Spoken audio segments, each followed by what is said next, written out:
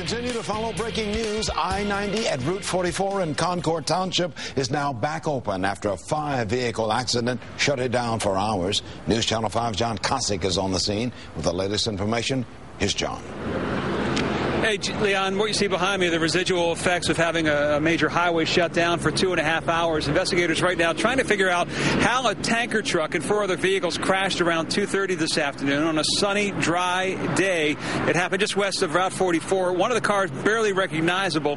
One person flown to the metro, two others taken by ambulance to local hospitals. No word on their conditions. The westbound lanes were closed for two and a half hours, so that backup stretched for miles at the time. And the eastbound Gaper delay also stretches for several miles miles at this hour. So if you know someone whose evening commute takes them through this section of Concord Township here in Lake County, odds are they're going to be a little late here this evening. That investigation does continue. Reporting live in Lake County, John Kosich, News Channel 5. Many thanks, John. We'll have an updated information this evening on NewsNet5.com.